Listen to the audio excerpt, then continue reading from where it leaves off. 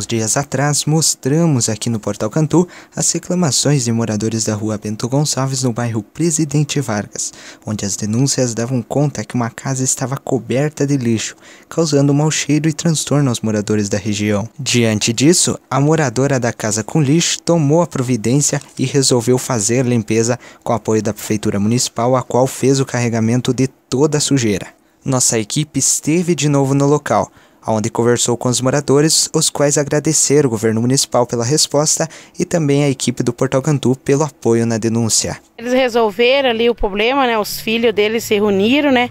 Estão limpando ali. Para nós e para eles é melhor, né? Menos assim, né? Eles não ficam doentes, nada, né?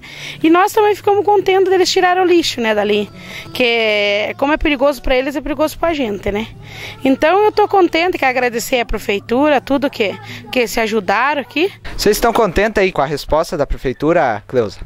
Estamos, agora sim nós estamos. Queria agradecer primeira mão você, Bruno, de estar com nós aqui do Portal Cantu, a prefeitura de ter dado uma força para nós e o povo, né, daqui do bairro Presidente Vargas, que assinou, ajudou, né, nós conseguir tirar aqueles lixaredos dali, né, que todo mundo tem suas crianças e, e outra coisa para eles não orientar eles, né, a turma da prefeitura, para não deixar mais acumular lixo ali, né. E é isso, que agora nosso bairro vai ficar bonito agora, bonito e cheiroso.